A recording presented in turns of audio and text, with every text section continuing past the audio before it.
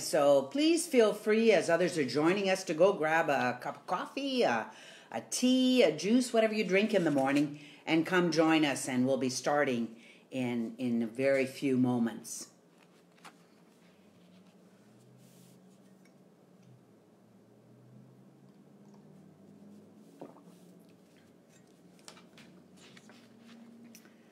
See if some folks are gathering in. It's just about time.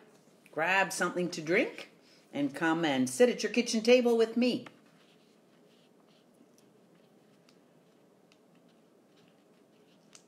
So, like I said, grab a cup of coffee. It's good to see folks coming in. It's uh, so nice to have people joining us and feeling uh, church from my place to your place, a new way of church, uh, and being church together. So, like I said, go grab a cup of coffee, a tea, a juice, whatever it is, and join me in starting our Sunday with that cup of coffee or tea or juice and a prayer. Let us pray. Dear God, we are worshiping you from home today, but we know that you are with us and you hear our prayers. We praise you for taking care of us, for protecting us, and for being with us in this pandemic. We know that it is you who has been with us through these trying times. We are so thankful. Be with our families and our friends this week and bless them in a way they've never known before. In Jesus' name we pray. Amen. So, welcome everyone. I'm Reverend Karen Lumley from St. Andrew's River Heights United Church, coming to you from my place to your place as we be the church together. Now, there are a few announcements I want to draw your attention to for those of you who get our e blast, and if you don't, just contact the church and do that. Um, next week, we will be celebrating our fifth anniversary of becoming an affirming ministry of the United Church of Canada. We will also be celebrating creation. And Rita Swan, who's a student of the Lay Worship um, Leader Ministry Program of the United Church of Canada, will be joining us and has prepared some liturgy for that special affirming and creation aspects and parts of our worship.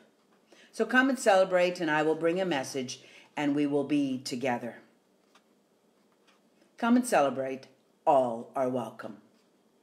As we center, we realize that all the doubts in the world cannot wash away our inheritance from God, our inheritance of love, of refuge, and of courage. Our call to worship, there is a response, so feel free to say that out loud to yourself at home, or you can just whisper it in your own heart. The response is In God we have an inheritance. In God we have an inheritance. Come into God's presence with joy. A response? In God we have an inheritance. Come into God's presence with hope. Response? In God we have an inheritance. Come into God's presence with longing. Response? In God, we have an inheritance. Come into God's presence with love. In God, we have an inheritance. That inheritance brings new life.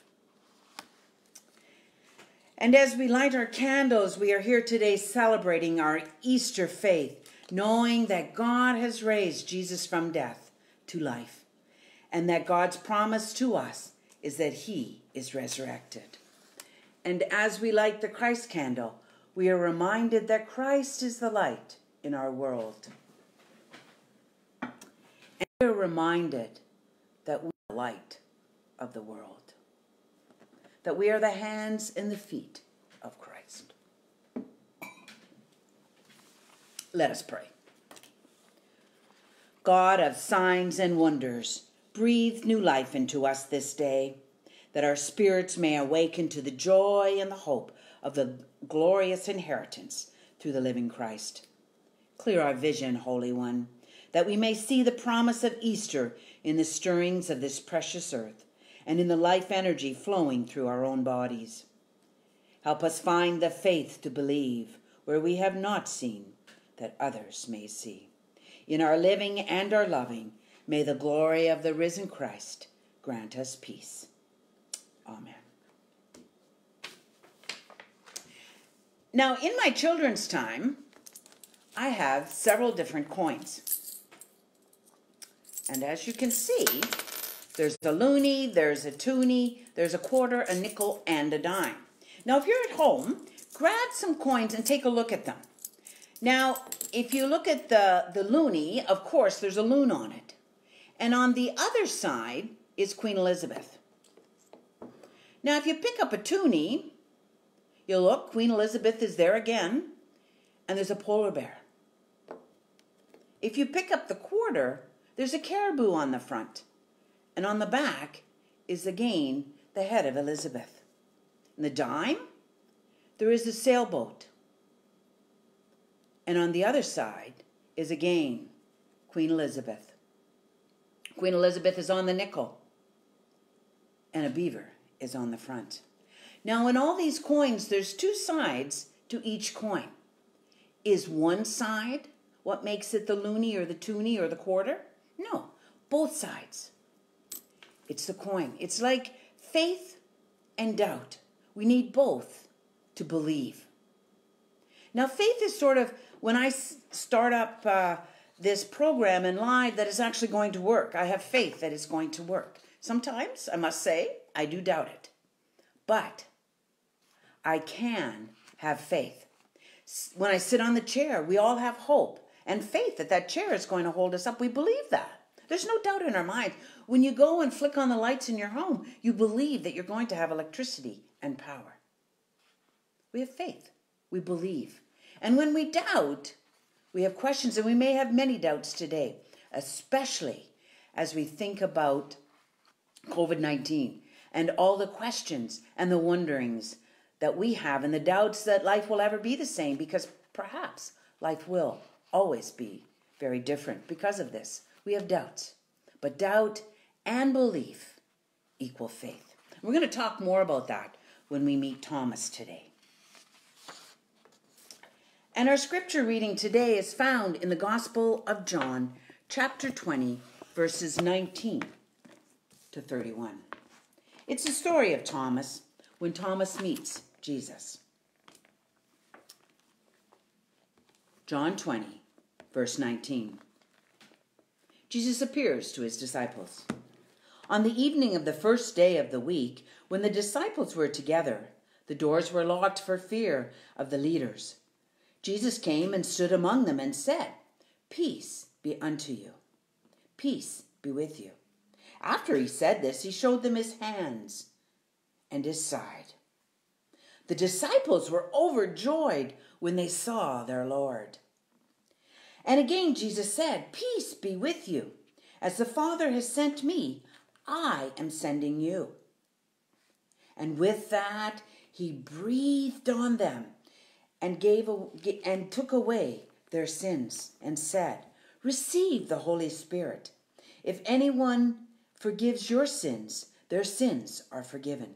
If you do not forgive, they are not forgiven. And then Jesus appears to Thomas. Now, Thomas, known also as Didymus, one of the twelve, was not with the disciples the first time Jesus came. So the other disciples told him, We have seen the Lord. But he said to them, Unless I see the marks in his hands and put my hand into his side, I will not believe. A week later, his disciples were in the house again, and Thomas was with them this time. Though the doors were locked, Jesus came and stood among them. And he said to Thomas, Put your finger here in my hands. Reach out your hand and put it into my side. Stop doubting, Thomas, and believe. Thomas said to him, My Lord and my God. Then Jesus told them, Because you have seen me, you have believed. Blessed are those who have not seen me and yet believed. Jesus performed many signs and miracles in the presence of his disciples which were not recorded in this book. But these are written that you might believe that Jesus is the Messiah, the Son of God, and that by believing you may have life in his name. Now, in our sermon today, I, I want to introduce Thomas to you. And Thomas wants to share his side of the story because scripture doesn't always give us all of the details. And so Thomas feels he's been misjudged. And Thomas feels that he wants to share his side of the story with you. So I'm going to ask that you think about Thomas and the story and what you know about him for a moment as I go and pick up Thomas to bring him to introduce him to you.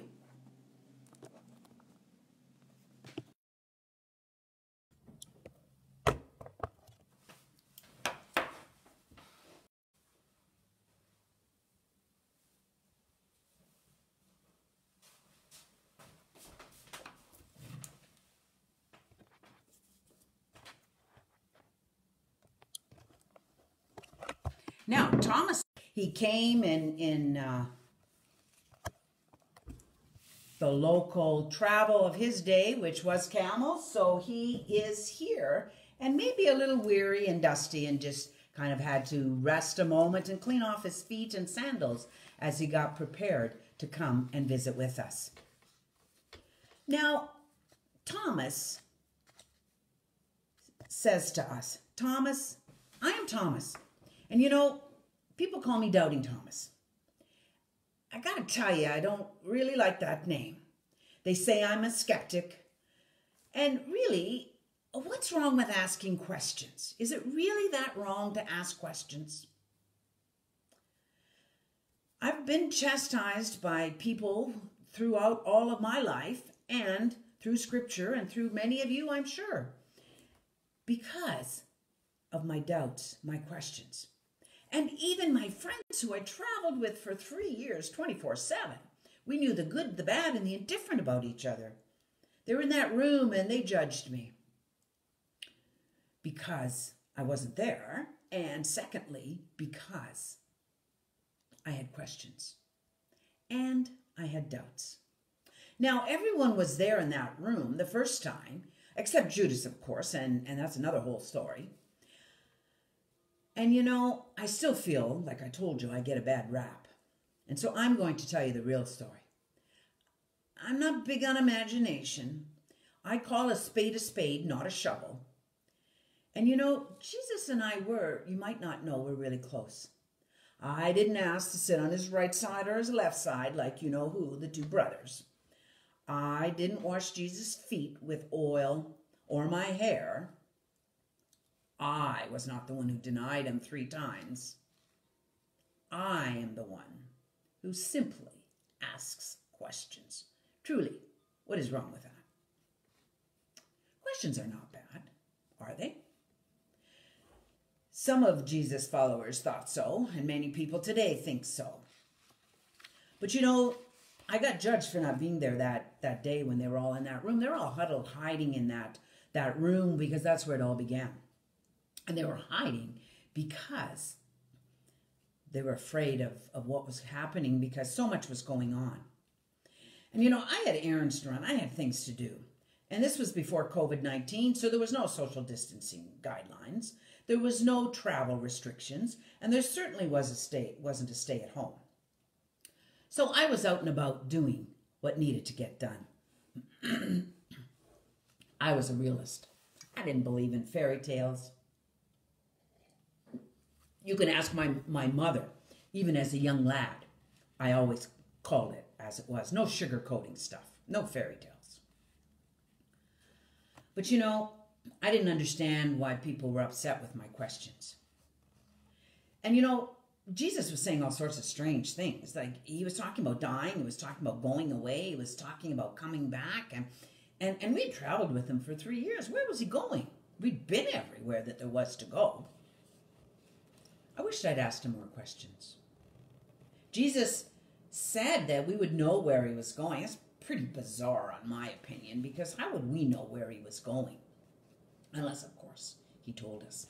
It's that famous passage that I'm sure many of you love in John 14, where Jesus said, Thomas, you know where I'm going. I had no clue, but I didn't want to really look like I was stupid or something, so I didn't say anything. It's a familiar passage, a comforting passage. And you know, and then you know what happened Easter week, Holy Week, and then Easter Good Friday and Easter Sunday. Jesus was crucified and buried. What a whirlwind. We were in chaos. We didn't know what was going on. Everything we believed, we doubted. Or at least I did. I can't talk for the rest of them. You know, but when Jesus came to see the disciples in that room, I wasn't there. And I ran as fast as I can when I heard via the grapevine that he was there. But you know, I was really disappointed when he wasn't there. And of course, all the rest of them bragged about seeing Jesus and talking with him. I was a little miffed. Jesus didn't come when I was there, too. So I said some things I, I wished I really hadn't said. I said I wouldn't believe unless I put my fingers in his hands and in his side where the sword pierced him. I was grieving. My, my, my friend, my good friend, was gone, was lost. I know where he was. And then we were all in the room together again. And Jesus came. Jesus encountered me and showed me his hands. Let me put my hand and asked me to put my hand in his side where he was pierced. And he said, Blessed are those who have not seen and, and yet believe. And most of us think that was a, a, a chastisement uh, to me because of my disbelief, but really, I was so awed, so amazed at the encounter I had with Jesus. He encountered my questions, he understood my doubts. For me, it was a moment of wow. It wasn't a reprimand. I didn't take it as that.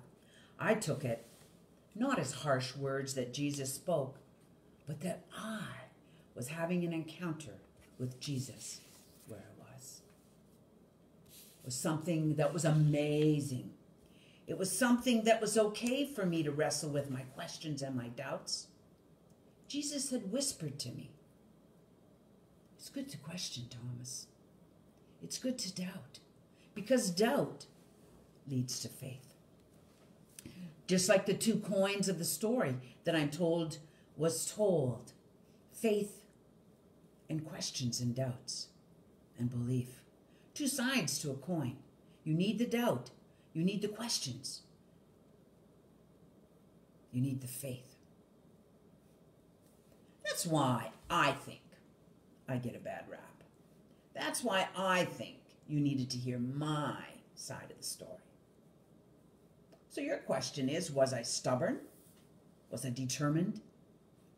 Is it how you see and see things differently?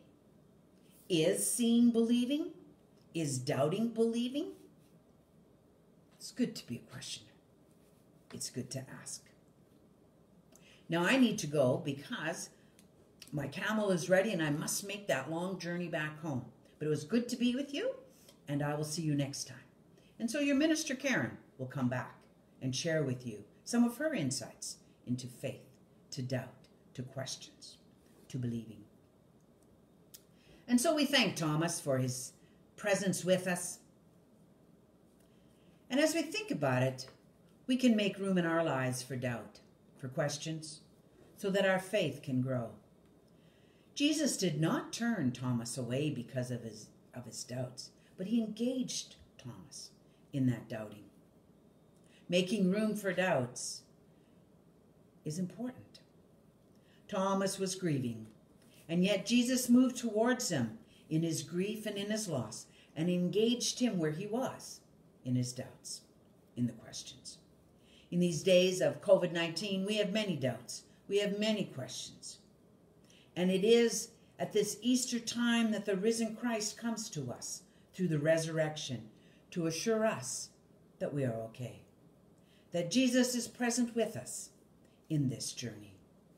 So when we experience both doubt and faith, we truly are better for it.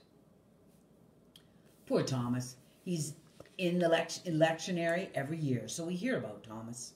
He's preached about, and often the story we remember is his doubts. But you know, wisdom comes from doubts. Real faith comes from doubts because it is in, in doubting that Thomas and we can encounter the risen Christ. Healthy skepticism is good. In a book I've read lately is called it's by John Irving and it's a prayer for Owen Meany. And the minister, Mr. Merrill, the minister, says, It's most appealing and rest assured because doubt is the essence of faith, not the opposite. Doubt is the essence of faith, not the opposite. And so the story of Thomas reassures us that doubt has values and challenges us to have a deeper, more meaningful faith, that we can find faith even in our doubts, even in our questions. In these days of doubt and fear and COVID 19, rest assured we are not alone, for the risen Christ journeys with us, walks with us. We are not alone. Thanks be to God. Let us pray. We thank you, God, that you are with us in the questions, in the doubts, in the fears. We thank you that in our doubts and fears we can find belief, and that you encounter us and journey with us. Comfort us in our faith journey. Open our hearts and our minds to faith, to doubts, to questions. Give us the wisdom to believe what we have seen and not seen. Help us to follow you with open eyed faith and questions. In our own faith community, we pray for those who are in the hospital or who are just out from hip surgery. Be with her. We pray for Jean Cannon's family, her son William, who grieve the passing of their mother. And for Lou Rutledge, who's moved into Tuxedo Villa, be with her as she's there in a new environment. We pray for those suffering from COVID 19, for the anxiety, the illness, the fear. we pray for the essential workers, for the doctors and the nurses, the hospital staff, the nursing home staff. Be with those in assisted living residents, nursing homes, and hospitals. Be with the children at home learning. It's a difficult time for them, for their fears and concerns and questions for parents who never wanted to be teachers are teachers. Give them strength and courage and help them.